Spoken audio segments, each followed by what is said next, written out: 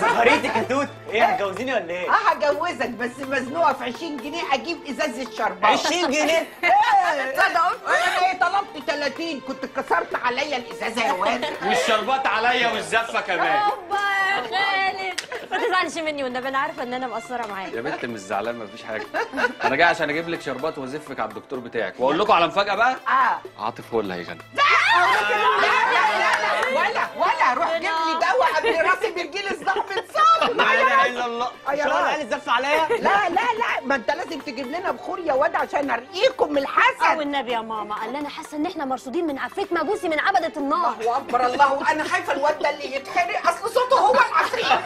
واديني تلاقيني لسه بخير يا واد يا واد. مش هتقفل الغير أيوه الغير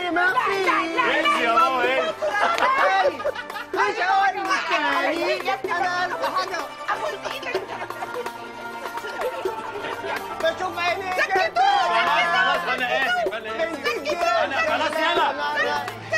خلاص ما تكرهش أمك فينا